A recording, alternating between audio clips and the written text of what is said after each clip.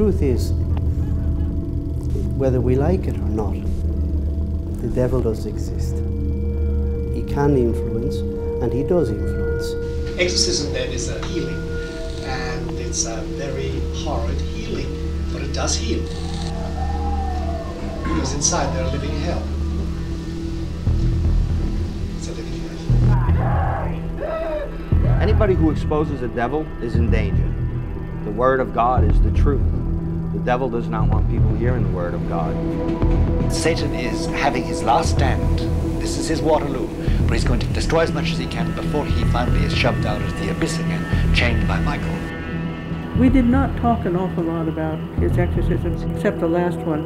I kept asking him not to do it, and he kept saying, Well, I'm only going to be an assistant. not much chance of that.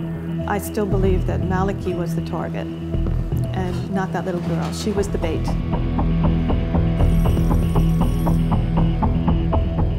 We're talking about a four year old child. She was innocence personified. There was no reason why this kid should have been afflicted in this way.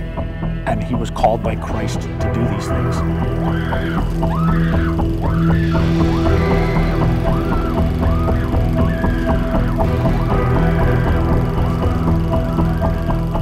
He was a great mythomaniac. He was just a, a liar and a scoundrel and a cheat. He's a warrior. He was a warrior for God, and he still is a warrior for God. These are very, very sophisticated spirits who are there to harm us.